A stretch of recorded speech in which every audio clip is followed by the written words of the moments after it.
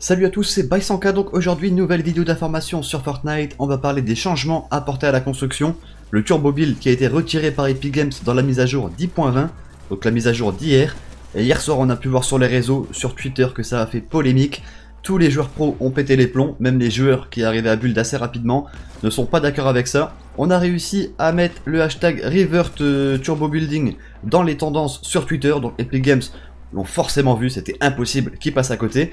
Et du coup, ils ont été plutôt rapides dans la soirée. Ils ont mis un petit communiqué du coup sur le site Epic Games. Et on va voir un peu leurs avis, pourquoi avoir apporté des changements à la construction turbo, et si ça va revenir par la suite. Donc pareil que sur Twitter, n'hésitez pas à mettre dans les commentaires le hashtag River Turbo pour voir les personnes qui sont contre cette, euh, bah, cette modification apportée. Franchement, c'est vrai que c'est la galère. D'ailleurs, je vous mets une petite vidéo que j'ai vue sur Twitter. Maintenant, les gens cherchent tous les moyens possibles pour pouvoir quand même avoir la, construction turbo, même en ayant des petites cheats. Regardez celui-là, franchement, quand je l'ai vu, j'ai fumé de la tête.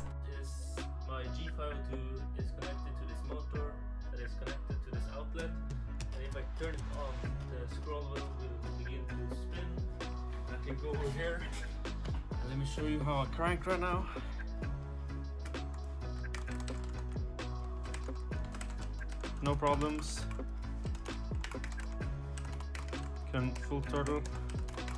Donc rapidement pour ceux qui n'ont pas vraiment compris la technique, sur PC tu peux mettre deux souris. Du coup à mon avis il utilise la souris qui est près de la multiprise avec une petite roulette qui fait tourner la roulette de la souris justement pour build.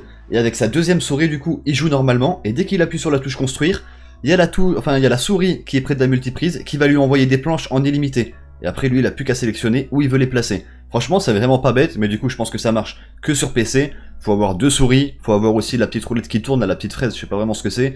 C'est pas donné à tout le monde. Mais en tout cas, ça marche, et franchement, c'était vachement bien pensé. Donc les joueurs ont de l'imagination, franchement, et ce que j'aime bien quand il y a des polémiques comme ça, c'est quand tu regardes sur Twitter, sur Facebook, sur les réseaux, toute la communauté est soudée. C'était pareil pour les avions, pareil pour la lame de l'infini, et là du coup, la même chose avec le, turbo build. Donc gros pouce bleu en tout cas si ce genre de vidéo vous plaît, et c'est parti du coup on va voir pourquoi Epic Games a changé la construction turbo. Donc du coup, j'ai les explications sous les yeux, nous souhaitons vous fournir des explications contextuelles en ce qui concerne les changements apportés au délai de construction turbo. Qu'est-ce qui a changé dans la mise à jour 10.20 Donc première question, nous avons rétabli la durée des placements successifs en construction turbo à 0,15 secondes au lieu de 0,05 dans la mise à jour 10.20. C'était cette valeur qui était utilisée jusqu'à la version 4.30 du jeu, donc avant qu'ils ajoutent le turbo build. Pourquoi avoir apporté des changements à la construction turbo? Nous avons fait cela afin de corriger plusieurs problèmes. Premièrement, une construction turbo très rapide donne un avantage disproportionné aux joueurs qui ont une latence plutôt basse. Donc prendre les murs, faire la course avec un autre joueur pour placer un mur avant lui, stratégie axée sur la défense, construire sans arrêt un mur qui subit des dégâts.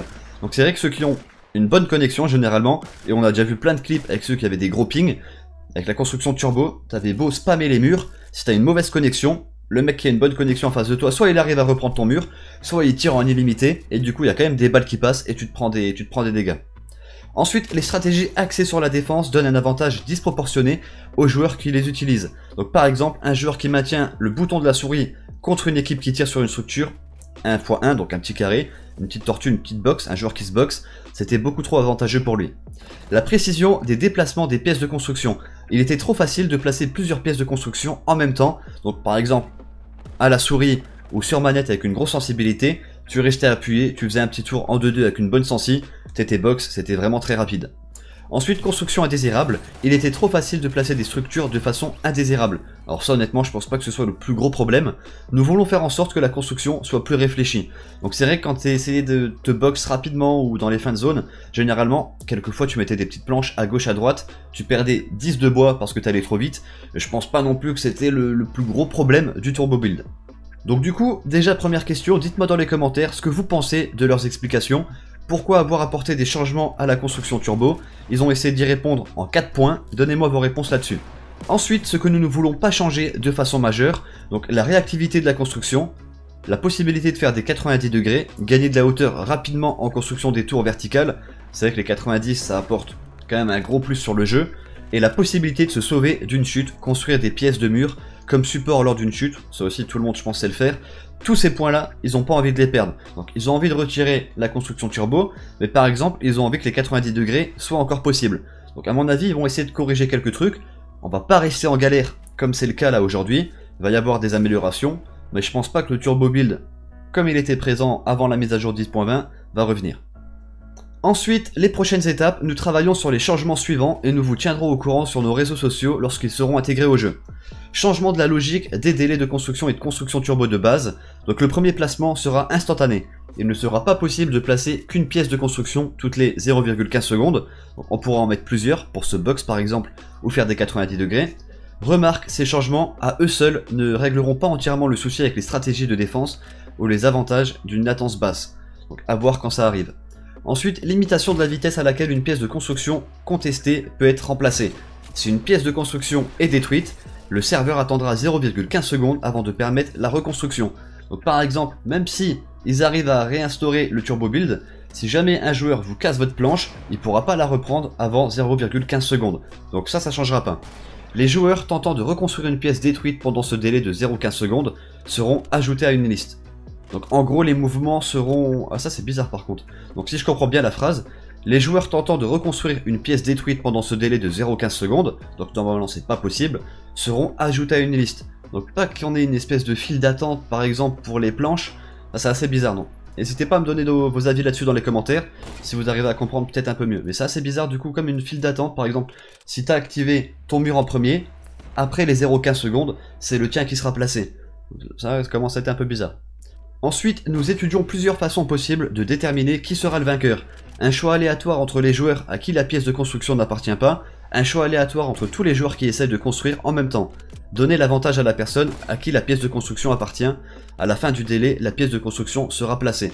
Donc c'est ce que je vous ai dit un peu avec le système de liste juste avant. Ça honnêtement, je le comprends pas trop. Faudrait peut-être le voir in-game pour réussir un peu à visionner le truc. Si jamais vous avez plus d'explications, vous avez un peu mieux compris, n'hésitez pas à le mettre dans les commentaires. Donc à la fin du délai, la pièce de, construction sera placée. Garantie que la rapidité du remplacement des pièces de construction prendre les murs ne dépend pas de la latence du joueur. En gros, ils veulent pas que les joueurs qui ont la meilleure connexion réussissent à remplacer les pièces de construction. Par exemple, si tu as un ennemi qui se boxe en face, que tu as une meilleure connexion, ils ont pas envie qu'à coup sûr tu réussisses à reprendre le mur. Et franchement, c'est compréhensible. Garantie un délai minimum entre le moment où un mur est détruit et celui où il est remplacé. Donc ça c'est le petit temps des 0,15 secondes. Donc comme je vous l'ai dit, à voir quand ça va arriver. Dites-moi dans les commentaires si selon vous, ces explications vous ont satisfaites. C'est vrai que par la suite, ils vont quand même essayer d'améliorer le truc. Mais pour l'instant, le turbo build, c'est fini. Donc là sur Twitter, à l'heure où je vous parle, en tendance, on n'a plus le hashtag River Turbo Building. On a carrément le hashtag Fortnite N. Donc je vous dis, les joueurs sont vraiment énervés. Joueurs pro comme bons joueurs. Après, c'est sûr que les nouveaux joueurs, je pense qu'ils ne sont pas vraiment concernés par ce, changement. Mais tous les joueurs qui jouent sur le jeu depuis, on va dire, allez, si ça fait pas un ou deux mois que vous êtes sur le jeu, le, turbo, le, c'était vraiment super efficace.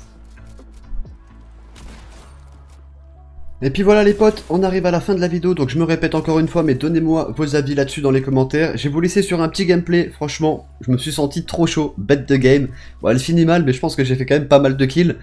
Et j'ai pas été baisé par la, construction turbo puisque j'étais à Tilted, donc personne ne pouvait construire, et franchement, du coup, j'ai fait un carton. Je vous laisse là-dessus, gros pouce bleu en tout cas si la vidéo vous a plu, n'hésitez pas aussi à vous abonner pour recevoir les notifs des prochaines vidéos, et un gros merci à tous ceux qui utilisent le code BY100K dans la boutique pour acheter des skins, le pass de combat, tout ça, ça fait super plaisir, je vous remercie, un gros merci à vous.